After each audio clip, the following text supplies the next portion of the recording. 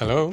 I am very annoyed. Every time I try to call my mom at her office, it's a really bad signal. And she told me it's because there are no rooftop antennas close to her building yet. Could you explain to me how that could work? Sure, I'm going to explain to you how rooftop towers can improve connectivity around them. So Anna, can you take a look at this video? What can you see?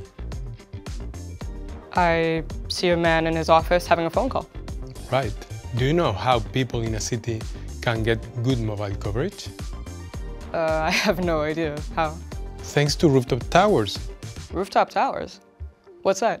They are smaller towers built on rooftops to host antennas for all operators. Oh, and how does it work? In dense urban areas, uh, because of the number of users, there is high demand of mobile coverage.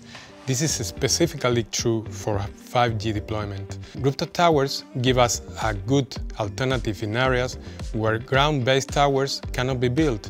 Thus, uh, it addresses our needs for network uh, densification for specific geographic targets.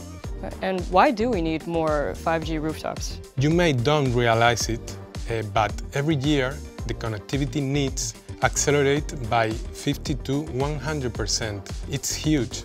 5G cells enable to improve network uh, connectivity and capacity and it avoid mobile network saturation. Thanks to these rooftop towers, this man and your mom uh, at her office can have good mobile coverage without overloading the network.